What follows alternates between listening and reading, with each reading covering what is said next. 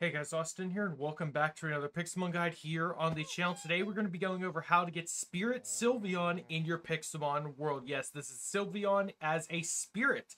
Very cool textured Pokemon that actually existed in Pixelmon for a while now. I've done a few guides on Spirit Pokemon, but today we're doing Sylveons. So if you guys have been enjoying the Pixelmon guys on the channel, and you too want to know how to get Spirit Sylveon, continue watching this video. Consider leaving a like, subscribe if you are new, and let's get into this. So I'm making this guy in Pixelmon version 9.2.8, the most recent version for 1.20's Pixelmon.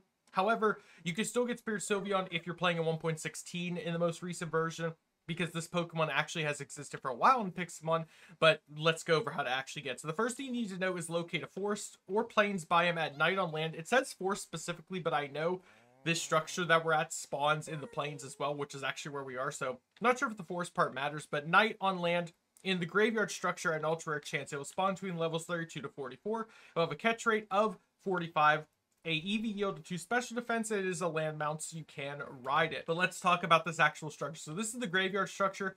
Like I said, it's supposed to spawn in the plains or forest biomes.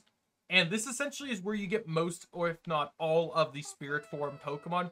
All it has to be is nighttime, and you essentially have to just roam around this area. You'll see there are some Pokemon spawning here already at day, but whenever it's nighttime, that is where the real magic happens.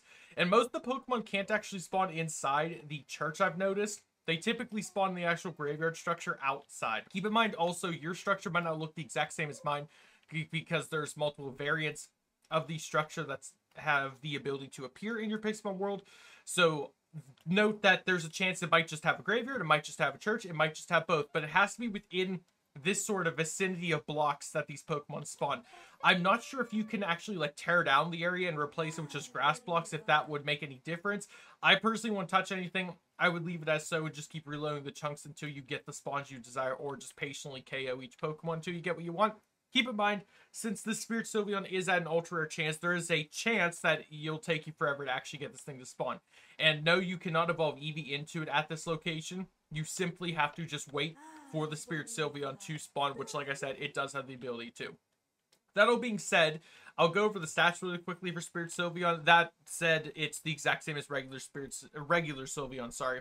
It drops to the exact same breeding. I don't think you can breed Spirit Sylveon. If you could, it's the exact same as regular Sylveon. All that should be the same, and I'll have a link in the description for Sylveon's actual wiki page if you guys want to check up on that. And if you're wondering how to actually just spawn in a Spirit Sylveon, it is slash Pokespawn space Sylveon space palette colon spirit and as you can see, we plop down a Sylveon spirit form. And like I said, everything about them is the exact same as normal Sylveon. They just look a lot cooler. So let me know in the comments down below if you guys have actually found or caught any of the spirit Pokemon, including Spirit Sylveon, in your world. I'm curious to know. And I'll try to have links in the top right hand corner to other spirit Pokemon I've made guides on if you guys want to check those out too. Feel free to do so. Or if you just enjoyed this video, consider leaving a like, subscribing if you're new, and I do hope to see you all in the next video. Have a great day, everyone. Stay safe, and goodbye.